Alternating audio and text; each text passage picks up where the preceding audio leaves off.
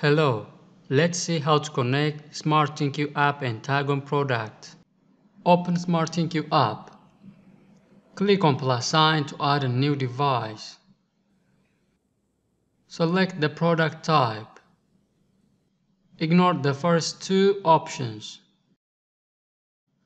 When this window appears on the mobile screen, click on the box and click on OK. Here it is, tag on option. Click on Yes. Turn on NFC on the mobile phone setting.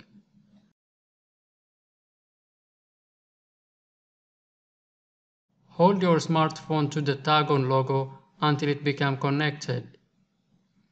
After connection, select the washer. Here, the user can download washing cycle to the product. To download the cycle, select from the listed cycle options and click on Download to the washer and tag the mobile phone to the product tag on logo.